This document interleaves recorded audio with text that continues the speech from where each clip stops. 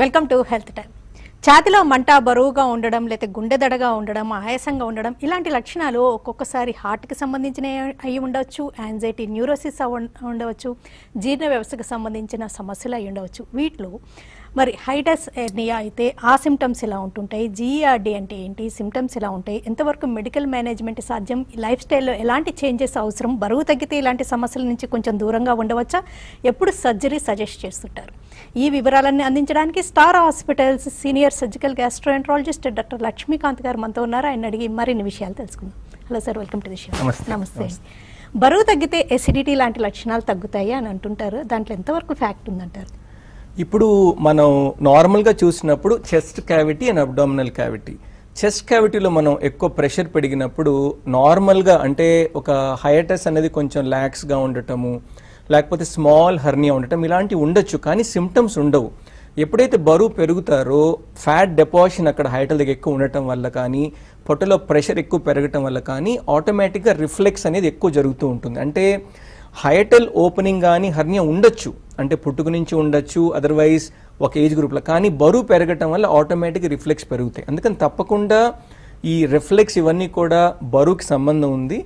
కొంచెం బరువు తగ్గటం వల్ల కూడా ఈ రిఫ్లెక్స్ అనే సిమ్టమ్స్ని కూడా మనం తగ్గించుకోవడానికి ఆస్కారం ఉంటుంది. హెర్నియా అంటే ఐడియా ఉంటుంది. హైటల్ హెర్నియా అంటే ఏంటి?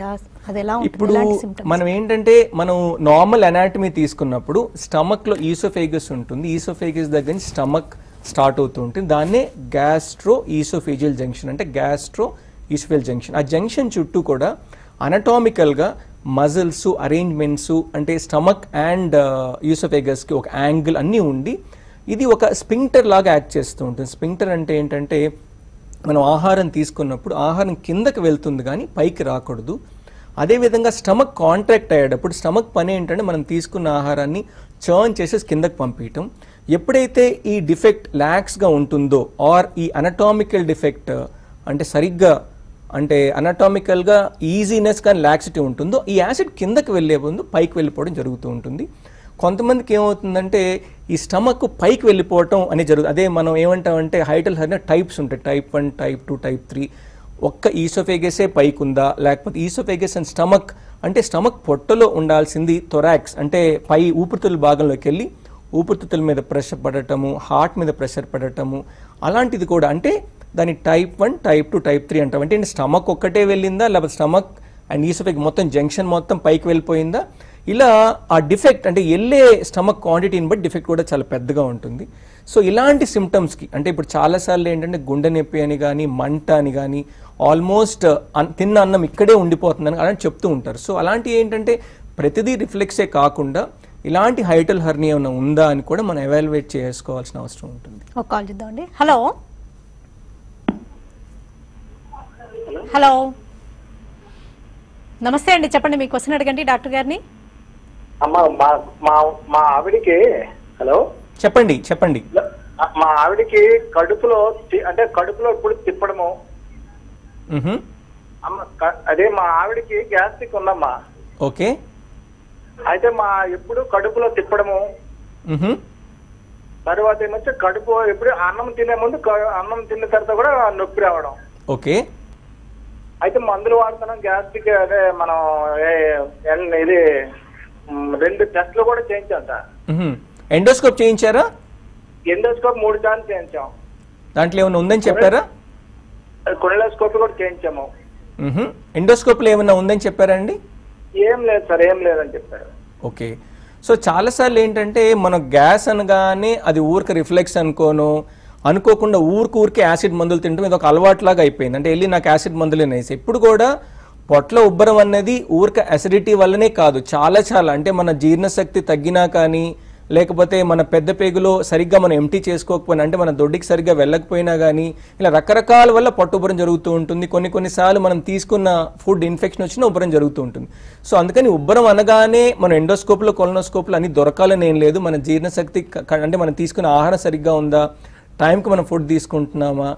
కొన్ని కొన్నిసార్లు ఏంటంటే స్ట్రెస్ టెన్షన్ పెరగడం వల్ల కూడా ఒక్కొక్కసారి బౌల్ స్పాజమ్స్ రావటము అలాంటి ఏంటంటే మనమే దాన్ని మనం ఇరిటబుల్ బౌల్ సిండ్రోమ్ అంటాం. అందుకని మీరు ఎండోస్కోపీ కొలనోస్కోపీ నార్మల్గా ఉంది కాబట్టి సో మీకేమైనా ఇన్ఫెక్షన్ ఉందా అని మీ డాక్టర్ని సంప్రదించి ఒక యాంటీబయాటిక్ కోర్స్ కానీ తీసుకొని ఇంకా దాని తర్వాత కూడా ఉంటే మీరు సరిగ్గా నిద్రపోతున్నారా తర్వాత మీకు ఏమైనా స్ట్రెస్ ఎక్కువగా ఉంది ఇది అన్నీ కూడా అన్ని రకాల చూస్తే మీ వైఫ్కి సరైన ఆన్సర్ దొరకడానికి ఆస్కారం ఉంటుంది. కాల్ చేద్దామండి హలో హలో నమస్తే చెప్పండి. నమస్తే అండి. మేము గుంటూరు నుంచి అండి కాల్ చేస్తున్నాము. చెప్పండి. గ్యాస్ ప్రాబ్లం అండి బాగా. గ్యాస్ట్రిక్ ప్రాబ్లం లాగా ఉంటుంది. ఒకటే తేపులు వస్తున్నాయండి బాగా. అది ఏంటనేది మాకు తెలుసుకోవడం కోసం చేసామండి ఓకే అండి.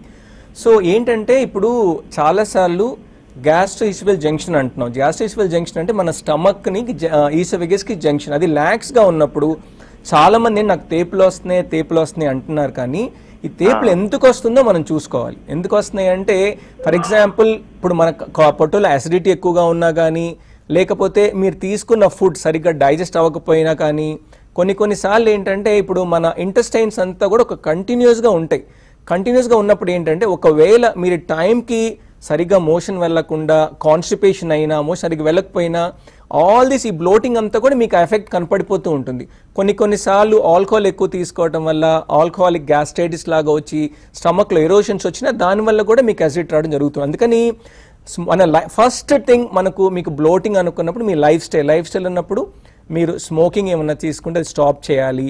ఆల్కహాల్ అధికంగా తీసుకుంటే మీరు లిమిటేషన్స్ చేసుకోవాలి. టైంకి మీరు ఫుడ్ తింటున్నారా? అదేవిధంగా ఏంటంటే ఒక ఫర్ ఎగ్జాంపుల్ ఎక్కువ టైం మనం నిద్రపోకుండా స్ట్రెయిన్ ఎక్కువ తీసేసుకొని వర్క్ దగ్గర ఎక్కువ స్ట్రెస్ పెరిగినా ఇవన్నీ కూడా మన యాసిడ్ సెక్రీ ఎక్కువ పెరగటం అనేది జరుగుతూ ఉంటుంది. మనం తీసుకున్న ఫుడ్లో ఏదైనా ఏ- మనం ఏ ఫుడ్ తీసుకుంటున్నామో ఎక్కువ మన స్టమక్ని ఇరిటేట్ చేసేటట్టు ఉంటే దానివల్ల కూడా అసిడిటీ అనేది ఎక్కువ పెరుగుతూ ఉంటుంది. కొన్ని కొన్నిసార్లు మనం తీసుకునే మందుల వల్ల కూడా ప్రాబ్లం వస్తూ ఉంటుంది. అట్లా మీరు మీ కారణం ఏంటో చూసుకొని ఊరిక నాకు గ్యాస్ వస్తుంది గ్యాస్ వస్తుందని టాబ్లెట్ తీసుకోవడం కాకుండా మీకు ఏం తీసుకున్నప్పుడు మీరు ఏం పని చేస్తున్నప్పుడు మీకు వస్తుంది చూసుకున్నారంటే మనకు లాంగ్ టర్మ్ అంటే మళ్ళీ మళ్ళీ రాకుండా కూడా మనం నివారించడానికి ఆస్కారం ఉంటుంది. ఓకే అంటే ఈ కంటెస్ట్లో అంటే నవేడేస్ చాలా lifestyle changes eating habits and చాలా చేంజెస్ చేసుకున్నాం. అంటే మరి వన్ ఇయర్గా ఈ కరోనా ఎఫెక్ట్ తోటి. ఈ కషాయాలు ఇలాంటివన్నీ కూడా అందరికీ సూట్ అవ్వకపోవడం ఇలా కొంచెం గ్యాస్ట్రిక్ ఇరిటేషన్స్ రావడం ఇలాంటివి జరుగుతుంటాయి అంటారా? డెఫినెట్గా అంటే మనం చూసామంటే ఈ వన్ ఇయర్గా ఈ ప్రాబ్లం ఫేస్ చేస్తున్నాం వన్ ఇయర్లో ఏంటంటే పేషెంట్స్ చెప్పే సిమ్టమ్స్ చాలా మారిపోయినాయి. ఎందుకు అంటే మనం తీసుకున్న అంటే మన బాడీకి అలవాటు లేని చాలా తీసుకున్నాం. అంటే ఈ తీసుకున్నవి ఉపయోగం ఉందా లేదా నేను మాట్లాడట్లేదు. ఎందుకంటే న్యాచురల్గా ఉన్నవి మనకు నష్టం చేయనంత వరకు ఏం తీసుకున్నా పర్వాలేదు. కానీ కొన్ని కొన్నిసార్లు ఏంటంటే ఆ కాన్సన్ట్రేషన్స్ అని మన మీద ఎక్స్పెరిమెంట్ చేసుకుంటున్నాం. అంటే అది నిజంగా పనిచేస్తుందో లేదో తెలియదు అలాంటప్పుడే చాలామంది ఎక్కువగా అంటే ఏంటంటే ఫర్ ఎగ్జాంపుల్ కొన్ని కొన్ని తీసుకోవటం వల్ల సివియర్ గ్యాస్ట్రైడ్ స్టమక్ మొత్తం పుండ్లు పడేంత వరకు అయిపోతున్నాయి అంటే వాళ్ళకి మంచి చేయాలని వాళ్ళు చేస్తున్నారు కాకపోతే అది వాళ్ళకి సైడ్ ఎఫెక్ట్స్ వస్తున్నాయి. సో దానివల్ల ఏంటంటే వాళ్ళు తీసుకునే నార్మల్ ఫుడ్ కూడా తినలేకపోతున్నారు. And people are under tremendous stress ఆ ట్రెమన్ ట్రెమెండస్ స్ట్రెస్ వల్ల ఏమవుతుంది యాసిడ్ సెక్రీషన్స్ ఆటోమేటిక్ ఎక్కువైపోతుంది అంద- అందుకని మనం చూసామంటే one of the most important thing one ఇయర్లో ఇప్పుడు మనము ఇలాంటి అసిడిటీని కానీ ఇలా స్ట్రెస్ని ఎదుర్కోవాలంటే కొంచెం ధైర్యం కావాలి. ఎందుకంటే మనము వాట్ ఎవర్ సిచ్యువేషన్ కమ్ ఎదుర్కోక తప్పదు. సో వాట్ మనం చేయగలిగిన చేయాలి కానీ చేయలేని పని గురించి మనం అంటే అతిగా భయపడి స్ట్రెస్ తీసేసుకొని చాలాసార్లు హార్ట్ అటాక్ లాగా అందరు ఈసీజీ తీయించుకోవటము టీఎంటీ చేయించుకోవటము అంటే అంత భయంతో యంగ్స్టర్స్ సరే ఈ ఓల్డ్ డే అంటే ఫార్టీ ఫార్టీ ఇయర్స్ చేయించుకున్న తప్పు నేను అనను. Even as young as eighteen years twenty four years కూడా నాకు చెస్ పట్టేస్తుంది నాకు బాగలేదని. మేము కూడా ఏంటంటే ఈ సీజన్ బాగాలేదు కాబట్టి ప్రతి ఒక్కరికి అన్ని ఎవాల్యుయేట్ చే చేయాల్సి వస్తుంది. కానీ చాలామందికి ఏం సిమ్టమ్ అంటే రియల్గా ఏం ప్రాబ్లం ఉండట్లేదు. ఫైనలీ మీకు స్ట్రెస్ ఉందని చెప్పి స్ట్రెస్ తగ్గడానికి మెడిసిన్స్ ఇవ్వడం జరుగుతుంది. అందుకని ఏంటంటే దిస్ అ రియాలిటీ అందుకని ఆ రియాలిటీని మనం ఫేస్ చేయాలి. అందుకని మీరు ఏమైనా కషాయాలు అవి తీసుకుంటున్నారు మీకు అది నచ్చట్లేదు పడట్లేదని టెంపరీగా ఆపటం మంచిది. అట్లీస్ట్ ఒక వన్ వీక్ ఆపి కొంచెం ఆర్ క్వాంటిటీ మీరు ఏం తీసుకున్నారో క్వాంటిటీ కూడా తగ్గిస్తే చాలా బెటర్గా ఉంటుంది. కాల్ చేద్దామండి. హలో. హలో. నమస్తే అండి చెప్పండి. నమస్తే నమస్తే సార్. నా పేరు వినోద్. హైదరాబాద్ నుంచి మాట్లాడుతున్నాను. చెప్పండి. హలో. చెప్పండి వినపడుతుంది. మీ వాయిస్ వినపడుతుంది. యా. నా ఏజ్ థర్టీ అండి నేను సాఫ్ట్వేర్ ఇంజనీర్. యాక్చువల్గా నాకు ఒక వన్ అండ్ హాఫ్ ఇయర్ నుంచి థ్రోట్లో నుంచి స్ఫూటం వచ్చేదన్నమాట కంటిన్యూస్గా. సో హైదరాబాద్ యశోదాకి విజిట్ చేశాను. వాళ్ళు స్కానింగ్ తీసి సిటీ స్కాన్ సైనస్ వల్ల వస్తుంది అని చెప్పారు. చేయించుకున్నాను లాస్ట్ ఇయర్. అయినా అది ఆ ప్రాబ్లం రిజాల్వ్ అవ్వలేదు. సో నెక్స్ట్ వాళ్ళు చెక్ చేసి టాన్సిలైటిస్ ఇన్ఫ్లమేట్ అయ్యాయి. ఆ సైనస్ ఇన్ఫెక్షన్ వల్ల. సో దాని వల్ల వస్తుందన్నారు. ఒక one and half month back చేయించుకున్నాను టాన్సిలైటిస్ సర్జరీ కూడా. బట్ స్టిల్ నాకు ఇంకా ఆ ప్రాబ్లం రిజాల్వ్ అవ్వలేదు. నాకు వైట్గా థ్రోట్లో నుంచి సలైవ వస్తుంది. అప్పుడప్పుడు గమ్మీగా స్ఫూటం వస్తుంది అనమాట. సో నేను జస్ట్ గూగుల్లో జస్ట్ ఊరికే వాస్తు చేశాను అనమాట ఏమన్నా వేరే ప్రాబ్లమ్స్ ఏమన్నా ఉంటాయా అంటే ఇట్స్ డ్యూ డిఫరెంట్ ప్రాబ్లమ్స్ అని విన్నాను. ఫస్ట్ గ్యాస్ట్రిన్స్ వల్ల కూడా ఇలాంటి ప్రాబ్లమ్స్ రావచ్చు. లైక్ స్టమక్ నుంచి థ్రోట్కి ఒక లింక్ అనేది ఉంటుంది. సో ఒక గ్యాస్ట్రెంజలిస్ట్ కూడా రీచ్ అవ్వచ్చు ఇలాంటి ప్రాబ్లమ్స్ ఉన్నప్పుడు అని చూశానండి. సో మీరేమన్నా హెల్ప్ చేయగలరు అనేసి. మీకు కాల్ చేస్తున్నాను. సో గుడ్ గుడ్ అంటే I can understand your problem ఎందుకంటే ఇప్పుడు చాలా మందికి తెలియంది ఏంటంటే ఇప్పుడు మనము నిద్రపోయేటప్పుడు మన మజిల్స్ అని రిలాక్స్ అయిపోయేటప్పుడు మన స్టమక్లో అనేసి ఫర్ ఎగ్జాంపుల్ మన రాత్రి హెవీగా తిని పనుకున్నప్పుడు ఈ గ్యాస్ట్రైసివిల్ జంక్షన్ కొంతమందికి ఫుల్గా రిలాక్స్ అయిపోతుంది. ఈ రిలాక్స్ అయిపోవటం వల్ల ఈ యాసిడ్ పైకి వెళ్ళి నార్మల్గా మన యాసిడ్ అనేది గొంతులోకి రాదు. మనం కావాలన్నా మనం తీసుకురావాలన్నా స్టమక్ అని తీసుకురాలేం. కానీ కొంతమందికి ఈ వాల్ లూజ్గా ఉన్నా కానీ ల్యాక్స్గా ఉన్నా కానీ యాసిడ్ పైకి వెళ్ళి నిద్రపోయినప్పుడు ఊపిరితిత్తుల్లోకి వెళ్ళిపోవడం జరుగుతూ ఉంటుంది. దాన్ని మనం ఏంటంటే ఆ రిఫ్లెక్స్ వల్ల వచ్చే అంటే యాసిడ్ నిమోనైటిస్ లాగా అనమాట అంటే యాసిడ్ తెలియదు కొంచెం క్వాంటిటీ యాస్పిరేట్ అయినా కానీ నిమోనియా లాంటి సిమ్టమ్స్ అలర్జీ కొంతమందికి ఏంటి బ్రాంకియల్ ఆస్మా అంటే అంటే యాసిడ్ కొంచెం గొంతులో పడగా రాత్రిపూట ఒక ఆస్మాటిక్ అటాక్ లాగా వచ్చి లేచి కూర్చోవడం జరుగుతూ ఉంటాయి. సో ఇలా అంటే ఇప్పుడు అన్నీ చెక్ చేసి అంటే అలర్జిక్గా చెక్ చేశారు త్రోట్లో చెక్ చేశారు ఏమీ కనపడినప్పుడు తప్పకుండా ఎండోస్కోపీ చేసేసి ఒక్కొక్కసారి మనం అంటే ఈ గ్యాస్ట్రైసిఫిల్ జంక్షన్ కరెక్ట్గా ఉందో చూసుకోవటం అవసరం. కొంతమందికి ఏంటంటే మొటిలిటీ ఆఫ్ ది ఈసోఫేగస్ కూడా సరిగ్గా ఉండదు. మొటిలిటీ ఆఫ్ ఈసోఫేగస్ అంటే డిస్మొటిలిటీ ఉన్నా కానీ లేకపోతే లోవర్ పార్ట్ ఆఫ్ ది ఈసోఫేగస్లో దాన్ని మనం అక్లేషియా కార్డియా అంటాం. కొంతమందికి ఏంటి తెలియకుండా కొంచెం నేరోగా ఉంటుంది ఫుడ్ సరిగ్గా వెళ్ళదు. అలాంటి వాళ్ళకి రాత్రి పూట ఏమవుతుందంటే ఫుడ్ అంతా స్టాగ్నేట్ అయిపోయి దాన్ని ఆస్పిరేట్ చేసుకొని లంగ్ నిమోనియాస్ కానీ థ్రోట్ ఇరిటేషన్ పొద్దున్న లేవగానే గొంతులో నాకు చాలా ఇరిటేషన్గా ఉంది నాకు ఏదో ప్రాబ్లం ఉందని రిపీటెడ్గా ఈఎన్టీ ఎవాల్యుయేషన్ చేసుకుంటూ ఉంటారు. అలాంటి వాళ్ళకి ఏంటంటే చాలాసార్లు లంగ్ డాక్టర్స్ కానీ ఈఎన్టీ వాళ్ళు కానీ వాళ్ళు చూసి ఒకసారి మీరే చూడండి అని మా దగ్గర పంపడం జరుగుతూ ఉంటుంది. వాళ్ళకి మనం చేసే ఎవాల్యుయేషన్ ఏంటంటే ఎండోస్కోపీ చేసి ఈ జీ జంక్షన్ కరెక్ట్గా ఉందా లేదా అదేవిధంగా నెక్స్ట్ మనం మ్యానోమెట్రిన్ ఒకటి చేస్తాం. మ్యానోమెట్రీ అంటే ఈసోఫేజల్ మొటిలిటీ ఎట్లా ఉంది? మనం తినగానే ఫుడ్ ఏమవుతుందంటే అట్లా కాంట్రాక్షన్ ఒక ఒక మజిల్ రిలాక్స్ అవ్వాలి ఒక మజిల్ కాంట్రాక్ట్ అవ్వాలి. కిందకి వెళ్ళి గ్యాస్ట్రైసిబల్ జంక్షన్ నీట్గా రిలాక్స్ అయినప్పుడు ఆ ఫుడ్ మన స్టమక్లో పాడటం జరుగుతూ ఉంటుంది. ఎప్పుడైతే ఈ ప్రాసెస్ ఆఫ్ అంటే మొటిలిటీ ఆఫ్ ద ఈసోవేగస్ కానీ స్టమక్లో కానీ ప్రాబ్లం ఉన్నప్పుడు ఏమవుతుందంటే అక్కడ ఆగిపోవటం కానీ సరిగ్గా వెళ్ళకపోవటం కానీ జరుగుతూ ఉంటాయి.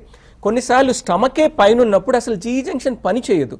ఇలా పని చేయనప్పుడు ఏమవుతుందంటే స్టమక్లో ఉన్న కాంటెంట్స్ అన్నీ కూడా మనం ఎప్పుడైతే నిద్రపోతామో అన్నీ కూడా గొంతులోకి వచ్చి సడన్గా నిద్ర లేసి కూర్చోవటం రాత్రి రెండు గంటలు మూడు గంటలు సడన్గా లేసి కూర్చోవటము నాకు ఏదో అయింది అని ఉక్కిరి బిక్కిరై కూర్చొని ఇలా జరుగుతూ ఉంటాయి ఎప్పుడైతే ఇలా జరిగిందో ఎండోస్కోపీ ఒకటి మ్యానోమెట్రీ ఒకటి కొన్ని కొన్నిసార్లు బేరియం స్వాలో కూడా చేస్తూ ఉంటాం. ఎందుకంటే స్టమక్ ఏమైనా రెట్రో అంటే ఏంటంటే మన స్టమక్లో మన బేరియం ఇచ్చేసి రివర్స్ టెండ్రన్వర్క్ పొజిషన్ అంటే రివర్స్ టెండ్రన్ పొజిషన్ అంటే కొంచెం తల్ల కిందలుగా పెట్టినప్పుడు స్టమక్లో ఉన్న బేరియం ఏమన్నా ఈసోఫేగస్కి వెళ్తుందా? ఎందుకంటే కొన్ని కొన్నిసార్లు ఫిజియలాజికల్గా చెక్ చేయాలి అంటే ఇలా ఈ మూడు టెస్ట్ చూసి ఎవాల్యుయేట్ చేసుకోవాల్సిన అవసరం ఉంటుంది. షార్ట్ బ్రేక్ తీసుకుందామండి బ్రేక్ కాల్ చూద్దామండి హలో. హలో. నమస్తే. చెప్పండి. మాట్లాడుతున్నాము. మళ్ళీ చెప్పండి అమ్మా చెప్పండి. సార్ సార్ శ్రీకాళహస్తి నుంచి మాట్లాడుతున్నాం సార్. ఆ, చెప్పమ్మా. సార్ ఏం లేదు సార్. నాకు ఒక త్రీ మంత్స్ నుంచి హలో? చెప్పండి వినపడుతుందండి వినపడుతుంది చెప్పండి. సార్ సార్ అదే త్రీ మంత్స్ నుంచి నాకు తల వెనుక భాగంలో నొప్పి వస్తా ఉండదు సార్ నరాలు. సో దానికనేసి నేను వేరే డాక్టర్ని కన్సల్ట్ అవ్వడం జరిగింది. దాంట్లో గ్యాస్ ట్రబుల్ అనేసి తేలింది. నాకు మామూలుగా కడుపు ఉబ్బరము రావడము. కడుపులో మంట రావడము. ఓకే. ఇట్లాంటివి ఉన్నాయి సార్. సరే డాక్టర్ దగ్గరికి వెళ్ళి కన్సల్ట్ అయితే తిరుపతిలో సార్ వండుకొని టాబ్లెట్లు రాసిచ్చాడు ఒక వన్ మంత్. ఆ టాబ్లెట్లు మింగాం సార్. మింగిన తర్వాత కూడా అట్లా ఉంది ఏం పని చేయలేదు. మళ్ళా తర్వాత సార్ వెళ్ళి కన్సల్ట్ అయితే ఎండోస్కోప్ చేశారు. ఎండోస్కోప్లో ఏమన్నా ఏం ఫైండింగ్స్ వచ్చినాయా? ఆ ఎండోస్కోప్లో ఏమీ లేదని వచ్చింది సార్. ఏం లేదని వచ్చింది కానీ నాకు ఇప్పుడు ఈ ఎండ ఎండకి తిరుగుతూ అంటే నేను ఎంఈ ఆఫీస్లో వర్క్ చేస్తాను సార్ ఏర్పేడ్లో. నేను ఎండకి తిరగడం వల్ల నాకు కడుపు ఉబ్బరం ఎక్కువైపోవడము ఈ మెడ నరాలు ఎక్కువగా నొప్పి రావడము. తల వెనుక భాగంలో ఎక్కువ నొప్పి రావడము. దానివల్ల నిద్ర పట్టకపోవడం ఇట్లాంటి సమస్యలు వస్తున్నాయి సార్ ఓకే అమ్మా ఇప్పుడు మీరు చూసారండి మీరు చెప్పిన దాంట్లో మనకు అర్థమైంది మీకు ఎండోస్కోప్లో ఏం లేదు తర్వాత మీరు చాలా స్ట్రెస్ ఫీల్ అవుతున్నారు హెడేక్ ఫీల్ అవుతున్నారు మీరు ఎండలో ఎక్కువ తిరుగుతున్నారు. మీ సిమ్టమ్ చూస్తే మీరు చేసే అంటే జిఏ గ్యాస్ట్రెంటల్ సిమ్టమ్స్కి సంబంధం కనపట్లేదు కానీ మీరు కరెక్ట్గా టైంకి డైట్ తింటున్నారో చూడండి. టైంకి డైట్ తీసుకోకపోయినా అసిడిటీ ఉంటుంది. మీకు ఎండోస్కోప్లో ఏం ఉండకపోవచ్చు. కాకపోతే ఏంటంటే అసిడిటీ అనేది ఏంటంటే ఒక్కొక్కసారి మనం తీసుకున్న ఫుడ్ కరెక్ట్ టైంకి లేనప్పుడు కూడా కడుపులో మంట అట్లా అనిపిస్తూ ఉంటుంది. కొన్ని కొన్నిసార్లు ఏమవుతుందంటే ఆల్రెడీ మీరు మందులు వాడేశారు మీరు ఎండోస్కోప్ చేసే లోపల. కొంతమందికి ఏమవుతుందంటే ఈసోఫేగస్ దగ్గర చిన్న చిన్న అల్సర్స్ కానీ అవి ఫామ్ అయ్యి మెడిసిన్స్ తగ్గిపోతూ ఉంటాయి. కానీ వచ్చినప్పుడు మింగినప్పుడు సాధారణంగా మనం ఆహారం మింగినప్పుడు మనకేం తెలియదు కాదు మింగటం కూడా మనకు తెలుస్తూ ఉంటుంది. కొన్ని కొన్నిసార్లు ఛాతిలో మంట కానీ వెనకాలకి రేడియేట్ అయిన పెయిన్ కానీ అట్లా వస్తూ ఉంటుంది. కొన్ని కొన్నిసార్లు ఏమవుతుందంటే మీరు మెడ నొప్పికో లేకపోతే హెడేక్ అనో మెడిసిన్స్ తీసుకుంటూ ఉంటారు. ఆ మెడిసిన్స్ వాడినప్పుడు మాత్రం రిఫ్లెక్స్ కానీ అసిడిటీ పెరుగుతూ ఉంటుంది తర్వాత మళ్ళీ నార్మల్ అయిపోతూ ఉంటుంది. అందుకని మీరు చేయాల్సింది ఏంటంటే టైంకి మీరు ఫుడ్ తింటున్నారా లేదా చూడండి. మీరు ఇంకోటి సరిగ్గా నిద్రపోవట్లేదని చెప్పారు. ఆ నిద్రను కూడా మీరు కాన్సన్ట్రేట్ చేయండి. అంటే సరైన టైంలో మీరు పొనుకుంటున్నారా లేదా minimum six to seven hours పొనుకునేటట్టు చూడండి. సో దీనివల్ల అంటే మీ లైఫ్ స్టైల్ కొంచెం మాడిఫై చేసుకుంటే బాగుంటుంది. ఉబ్బరం అనేది ఎప్పుడు కూడా మందులతోనే తగ్గుతుందని కాదు. మీ డైట్ని మాడిఫై చేసుకొని కరెక్ట్ టైం తీసుకోవటము న్యాచురల్గా అవైలబుల్ కర్డ్స్ తర్వాత మన న్యాచురల్ మంచి ఫుడ్స్ ఫైబర్ తీసుకొని ఎప్పుడైతే మన జిఏ సిస్టమ్ని హెల్తీగా ఉంచుతామో ఆటోమేటిక్గా మీరు బాగైపోవడానికి ఛాన్స్ ఉంటుంది.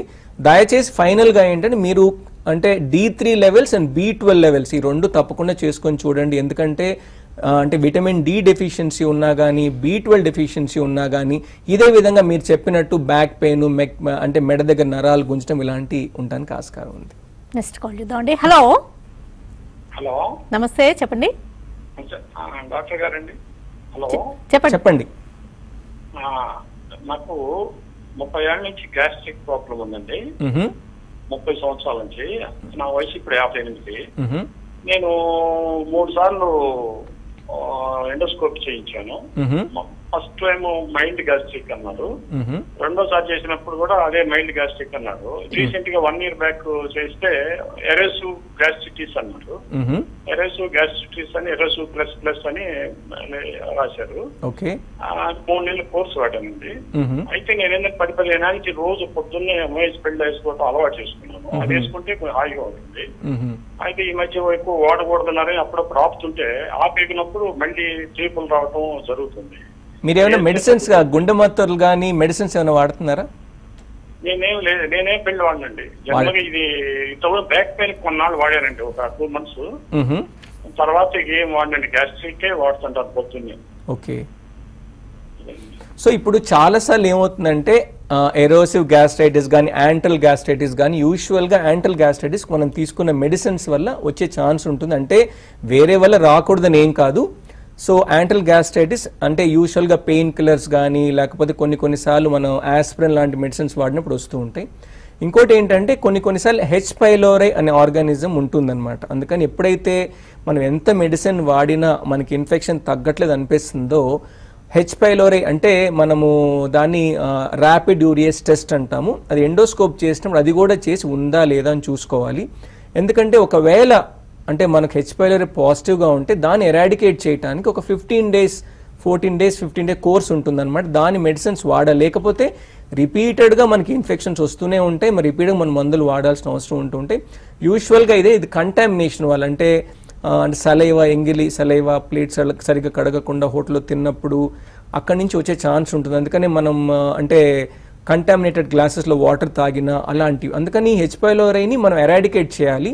ఎందుకంటే లాంగ్ టర్మ్లో అంటే ఎక్కువ రోజులు ఉన్నప్పుడు ఈ హెచ్పైలో ఇన్ఫెక్షన్ గ్యాస్ట్రిక్ అల్సర్స్ కాజ్ చేయొచ్చు. కొన్ని కొన్నిసార్లు లేట్ స్టేజెస్లో క్యాన్సర్స్ కూడా కాస్ట్ చేయొచ్చు. అందుకని ఏంటంటే ఎప్పుడైతే రిపీటెడ్గా మనకు అసిడిటీ వస్తుందో ఎరోషన్ రిపీటెడ్గా వస్తున్నాయో తప్పకుండా ఈ ర్యాపిడ్ యూరియస్ టెస్ట్ చేయించుకొని అది ఉందంటే దాని ప్రకారం మెడిసిన్స్ వాడాలి. కొన్ని కొన్ని కండిషన్స్లో వీటికి స్టమక్ ఏం సంబంధం లేకుండా గ్యాల్ బ్లాడర్లో స్టోన్స్ కానీ ఇలా ఉన్నా కానీ ఇలా అసిడిటీ కానీ తేపులు కానీ అలా వచ్చే ఛాన్స్ ఉంటుంది. అందుకని తప్పకుండా ఒక అల్ట్రాసౌండ్ ఫాస్టింగ్ అల్ట్రాసౌండ్ ఎండోస్కోపీ చేయించుకోవాలి. ఇప్పుడు మీకు ఎరోసివ్ గ్యాస్ట్రైటిస్ అన్నారు కాబట్టి ముఖ్యంగా మీరు సరైన టైంలో డైట్ తింటున్నారా? మీరు ఏం తీసుకున్నప్పుడు అంటే మీరు ఏం అంటే ఇప్పుడు మీరు రీసెంట్గా పెయిన్ కిల్లర్స్ వాడామన్నారు. పెయిన్ కిల్లర్స్ వాడి ఒకసారి అల్సర్స్ పడిన తర్వాత మళ్ళీ తగ్గడానికి మళ్ళీ మూడు నెలలు మెడిసిన్స్ వాడాల్సి ఉంటుంది. రిపీటెడ్గా అంటే అంత లాంగ్ టర్మ్లో hm, మీరు మెడిసిన్స్ వాడాల్సిన అవసరం లేదు. మీరు వీలైనంత వరకు మీకు న్యాచురల్గా అవైలబుల్ అంటే బటర్ మిల్క్ కానీ కర్డ్స్ కానీ కొంచెం లిమిటెడ్ క్వాంటిటీస్ డైట్ టైంలో తీసుకుంటే మేబీ మెడిసిన్స్ లేకుండా కూడా మీ ప్రాబ్లమ్ సాల్వ్ చేసుకోవడానికి ఆస్కారం ఉంటుందండి. ఈ హైటల్ హెర్నియా లాంటి ప్రాబ్లం ఉన్నప్పుడు అది డయాగ్నోస్ చేయించుకోకుండా ఎవరికి వాళ్ళు యాంటాసిడ్స్ వాడడం కానీ పీపీఐస్ వాడడం ఎరాజ్ ప్యాంటడాకి ఇలాంటివి వాడుతూ ఉన్నారనుకోండి రిజల్ట్ ఉంటుందా? వాళ్ళకి రిలీఫ్ ఉండడం జరుగుతుందా? అంటే అలా వాడుతూ ఉండాల్సిన పరిస్థితి ఏర్పడుతూ ఉంటుందా? అంటే కొన్నిసార్లు ఏమవుతుందంటే ఇప్పుడు మనకి ప్రాబ్లం ఉంటుంది. కొన్ని కొన్నిసార్లు రిఫ్లెక్స్ వల్ల ఏంటంటే బ్యారెట్స్ ఈసోఫెజైటిస్ అంటాం. కొన్ని కొన్ని లాంగ్ డ్యూరేషన్స్లో అంటే ఫిఫ్టీన్ ట్వంటీ ఇయర్స్లో అది మ్యాలిగ్నెన్స్ అయ్యే ఛాన్స్ కూడా ఉంటుందన్నమాట. సో అందుకని ఎండోస్కోపిక్ ఈజీలీ అవైలబుల్ టెస్ట్ తప్పకుండా మనం చేసి చేసుకోవాలి. ఎప్పుడైతే మనకు హయటస్ ఉంటుందో అంటే స్టమకే పైకి వెళ్ళిపోతుంది అంటే అనటామికల్ డిఫెక్ట్ ఉన్నప్పుడు ఫిజియలాజికల్గా డిఫెక్ట్ ఉన్నప్పుడు మనకు మెడిసిన్స్తో సరిపోతుంది. అంటే లైఫ్ స్టైల్ మోడిఫికేషన్స్ అంటే ఏంటంటే మనము కొన్ని అంటే ఐ టెల్ దమ్ ఒక నాలుగు సూత్రాలు అనేసి. ఒకటి ఏంటంటే ఎప్పుడు కూడా మీరు టైమ్లీ ఫుడ్ తీసుకోవటం. రెండోది ఏంటంటే మీరు తీసుకునేటప్పుడు మన స్టమక్ కెపాసిటీ కాన్స్టెంట్గా ఉంటుంది కాబట్టి వాటర్ కాంటెంట్ ఎక్కువ పెంచినప్పుడు రిఫ్లెక్స్ ఎక్కువగా అవుతుంది కాబట్టి ఆహారం తీసుకునే ముందు కానీ తర్వాత కానీ తీసుకోవటం. తర్వాత నైట్ టైమ్స్లో కొంచెం క్వాంటిటీ ఆఫ్ ఫుడ్ మీరు ఏదైతే తీసుకుంటున్నారో తక్కువ తీసుకోవటము.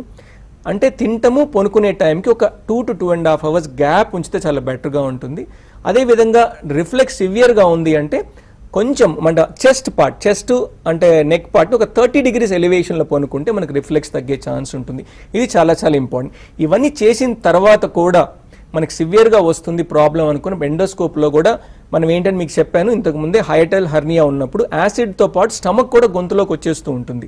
అలా సిమ్టమ్స్ ఉన్నప్పుడు తప్పకుండా మనము ఫర్దర్ టెస్ట్ అంటే ఏంటంటే ఒకటి ఎండోస్కోపీ దాంతోపాటు oesophageal manometry twenty four hour pH monitoring ఎందుకంటే ఇది చేసినప్పుడు ఎన్నిసార్లు మనకి యాసిడ్ పైకి రిఫ్లెక్స్ వస్తుంది ఎన్నిసార్లు ఫుడ్ పైకి వస్తుంది చూసుకొని కొంతమందికి దీంట్లో మనకు ఇంకా క్లారిటీ కోసం రివర్స్ ట్రెండ్ లైన్ బెక్ పొజిషన్లో ఎంత స్టమక్ పైకి వెళ్ళిపోతుంది. ఇవి చేసుకొని మనం ఎవాల్యుయేట్ చేసుకోవాలి.